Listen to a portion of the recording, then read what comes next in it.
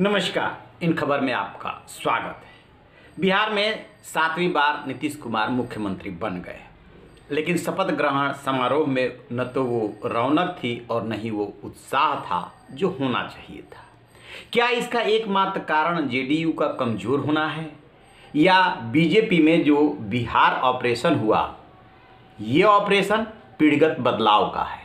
ठीक उसी तरीके से, जैसे 2013 में लाल कृष्ण आडवाणी जैसे बुज़ुर्ग नेताओं को किनारे करके नरेंद्र मोदी को पीएम का उम्मीदवार बनाया गया था। जब भी आप पीढ़गत बदलाव करते हैं तो कई निर्मम जो है डिसीजंस लेने पड़ते हैं। उसी फ़ेज़ से बिहार गुजर रहा है।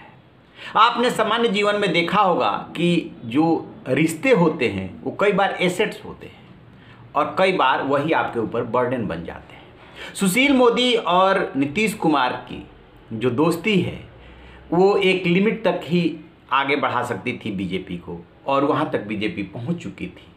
बीजेपी को अब उससे आगे निकलना है, लिहाजा निर्ममता या सख्त फैसले से कोई गुरेज नहीं, ये अमित शाह और नरेंद्र मोदी की जोड़ी है।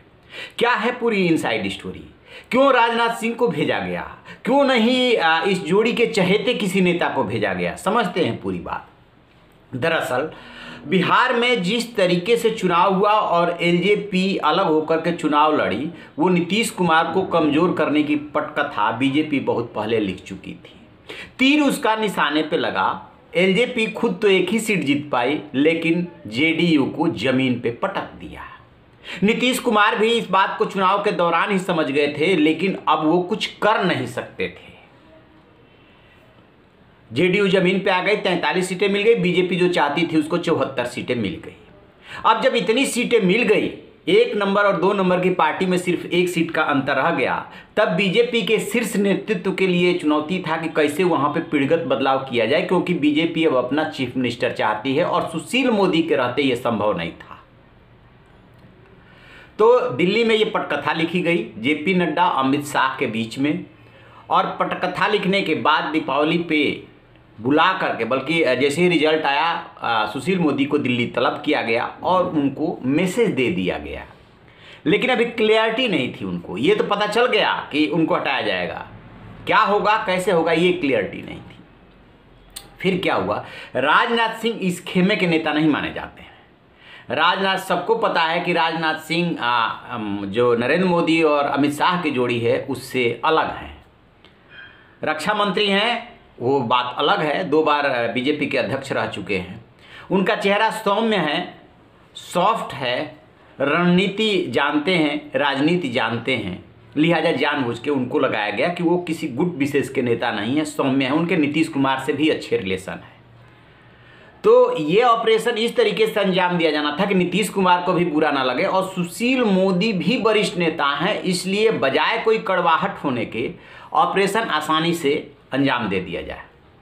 तो राजनाथ सिंह जैसे ही उतरे एयरपोर्ट पे, वहाँ से सीधे स्टेट गेस्ट हाउस गए। और इधर विधायक जो है बीजेपी के, वो इंतज़ार कर रहे थे कि पहले बीजेपी विधायक दल की बैठक होगी, उसमें नेता चुना जाएगा, उसके बाद नीतीश कुमार के आवास पर पहुँचना है, जहाँ एनडीए की मीटिंग होगी। लेकिन वो विधायकों की मीटिंग में नहीं गए राजनाथ सिंह, सीधे गेस्ट हाउस गए और वहाँ पे सुशील मोदी से बुला करके कहा कि आपको तारकिशोर प्रसाद और रेणु देवी को कम क्रमशः नेता और उपनेता घोषित करना है। और ये बात वहाँ जा कर के नीतीश कुमार के जो एनडीए की बैठक हो रही थी, वहाँ ऐलान कर दिया गया। बहुत भारी मन से सुशील मोदी ने ऐलान किया। अब इसके बाद आप जब राजनाथ सिंह नीतीश कुमार के रेजिडेंस पर पहुँचते हैं तो आप देख रहे हैं कि दोनों नेता कैसे मिल रहे हैं। नीतीश कुमार की मजबूरी ये थी कि बहुत ज़्यादा सुशील मोदी के लिए नहीं अड़ सकते थे, क्योंकि ये बीजेपी के फैसला है, बीजेपी जाने कि वो किसको डिप्टी चीफ मिनिस्टर बनाएगी। और नीतीश कुमार भी सारी बात समझ रहे हैं, लेकिन नीतीश कुमार के पास भी चुनाव के दौरान भी कोई विकल्प नहीं था और इस समय भी कोई विकल्प नहीं है। लेकिन इसका मतलब ये नहीं कि भविष्य में उनके सामने रास्ते नहीं खुलेंगे, भविष्य में उनके सामने रास्ते खुलेंगे। तो दोनों दल बात को समझ रहे हैं, लेकिन अपने अपने हिसाब से दांव चल रहे हैं। ये हो गया। सुशील मोदी नाराज़ होकर के ट्वीट कर दिए कि उनसे कार्यकर्ता का पद कोई नहीं छीन सकता। देवेंद्र फडणवीस डैमेज कंट्रोल के लिए आगे आए कि बड़े नेता हैं, उनको बड़ी ज़िम्मेदारी दी जाएगी। निश्चित रूप से हाईकमान ने सोच रखा होगा कि उनको कोई ज़िम्मेदारी दी जाएगी, लेकिन जब भी किसी को किनारे लगाया जाता है तो ऐसे ही लगाया जाता है, और सिर्फ़ उन्हीं को नहीं लगाया गया गौर कीजिए नंद किशोर यादव, प्रेम कुमार, विनोद नारायण झा और ये जितने उस पीढ़ी के नेता हैं, जो बुज़ुर्ग नेता हैं, जो कमिटेड बीजेपी के कार्यकर्ता और नेता रहे हैं, पाँच पाँच बार, सात सात बार, आठ आठ बार से जीत रहे हैं, इन सबको किनारा किया गया है। और अब वहाँ पे पीढ़ीगत बदलाव किया जा रहा है। फिर अब चलाएगा कौन? जो चेहरे आपको दिख रहे हैं, देखिए जानबूझ करके अब वैश्य समुदाय से चुना गया किसको? तारकिशोर प्रसाद को। और नोनिया समाज से चुना गया है रेणु देवी को। दोनों जो है आ, एक वैश्य समुदाय से हो गया और एक अति पिछड़ा हो गया। सवर्ण लाने की बात थी सवर्ण नहीं लाए क्योंकि वैश्य समुदाय को साधे रखना था कि सुशील मोदी को हटाए तो उसी वर्ग को फिर से वापस लाए।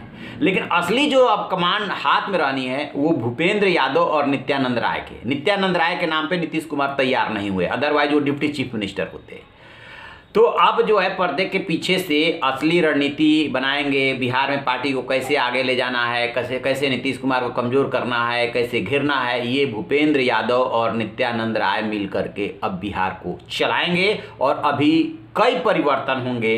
बिहार बीजेपी में किसी को अच्छा लगता है तो अच्छा लगे, बुरा लगता है तो बुरा लगे, क्योंकि हाईकमान ये तय कर चुका है। जैसे केंद्र में बदलाव हुआ था 2013 में, वैसे ही 2020 में बिहार में नेतृत्व में बीजेपी बदलाव कर रही है। ये है पूरी इनसाइड स्टोरी तो आप रहिए ना बेखबर, देखते रहिए इन खबर। थैंक यू इन खबर चैनल को सब्सक्राइब करें और